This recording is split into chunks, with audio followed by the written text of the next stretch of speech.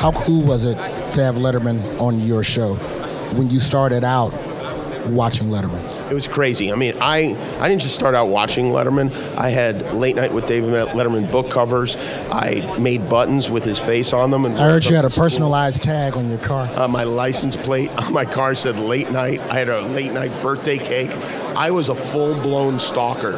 And somehow, I don't know how security let me in here, but they're not doing a very good job. Well, I miss Dave himself, obviously, but I also miss there's a comfort in knowing he's there. And um, the, the fact that he's not there to uh, kind of give his perspective on, on things is, I think, makes us um, unsafe as a country. Well, I'm happy you're here. I'm sure Dave is happy you're here. Thanks. I'm going to stay behind you for the rest of the Facebook Live or whatever. Okay, okay? that's fine. Right. Well, that's what we're here doing right now, people. It's the Mark Twain Prize for American Humor. I'm Roy Wood Jr. This is presented by Capital One.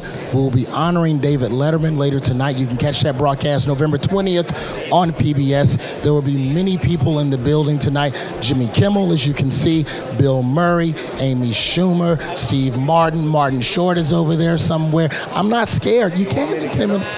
Yeah, go get him. Marty. He's far away. You have to yeah. keep talking till he comes back. No, we can toss to the hallway if we want, oh, but you're here. Okay. No, it's the hallway you just left out of. All right, well, let's toss to the hallway. We'll be back with more red carpet exclusives.